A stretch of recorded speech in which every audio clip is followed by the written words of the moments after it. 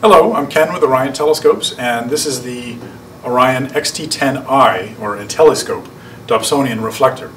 It's a 10-inch reflector on a standard Dobsonian mount, but this one has the ability to find uh, over 14,000 objects because of the computerized object locator down uh, on the side here. You punch in what you want to see, and it will direct you, meaning you move it by hand until the arrows count down to zero to the objects you want to see, and it'll find all sorts of things, including nebulae, galaxies, uh, all the planets.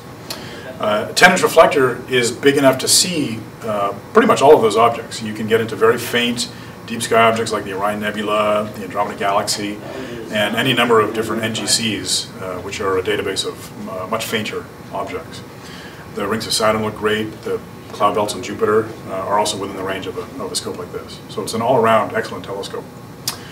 Comes with a couple of accessories. Uh, you get a 25 millimeter Sirius Plössl and a 10 millimeter Plössl as well. The finder scope is a right angle 9 by 50 and then like I said the computer is included with it so you can move it by hand like a regular Dob or use a computer to find any number of objects in the night sky.